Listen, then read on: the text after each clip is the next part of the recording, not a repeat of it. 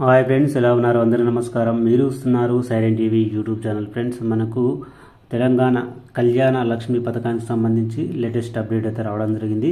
కళ్యాణ లక్ష్మి పథకానికి సంబంధించి అమౌంట్ అయితే ఏదైతే ఏ రోజైతే పెళ్ళి రోజు ఉందో ఆ రోజే ఇస్తామని అయితే చెప్పడం జరిగింది. అయితే ఎప్పుడు అప్లై చేసుకోవాలి? ఏంటి పూర్తి సమాచారం వీడియోలో తెలుసుకుందాం. వీడియోకి లైక్ చేసి సపోర్ట్ చేయండి. ఇలాంటి లేటెస్ట్ అప్డేట్స్ కోసం కొత్త ఛానల్స్ సబ్స్క్రైబ్ చేసుకుని పక్కన ఉన్న బెల్ బటన్ కూడా యాక్టివేట్ చేసుకోండి.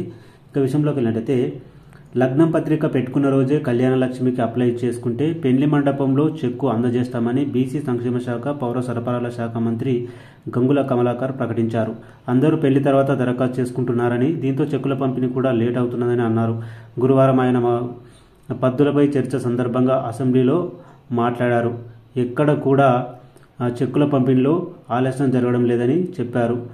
రూరల్ ఏరియాల్లో లక్ష యాభై వేల ఇన్కమ్ అర్బన్ ఏరియాలో రెండు లక్షల ఇన్కమ్ ఉన్న వారికి కళ్యాణ లక్ష్మి ఇస్తున్నట్టు వెల్లడి సో ఫ్రెండ్స్ ఈ విధంగా ఎవరైతే కళ్యాణ లక్ష్మి కోసం అప్లై చేసుకోవాలనుకుంటున్నారో వాళ్ళు ఎప్పుడైతే లగ్న పత్రిక రాయించుకుంటారో అంటే మీకు ఎప్పుడైతే లగ్న పత్రిక ప్రింట్ చేస్తారో అప్పుడు అప్లై చేసుకుంటే మీకు పెళ్ళి రోజు ఈ కళ్యాణ లక్ష్మికి సంబంధించిన అమౌంట్ అయితే చెక్కును అందజేస్తామని మంత్రి అయితే చెప్పారు.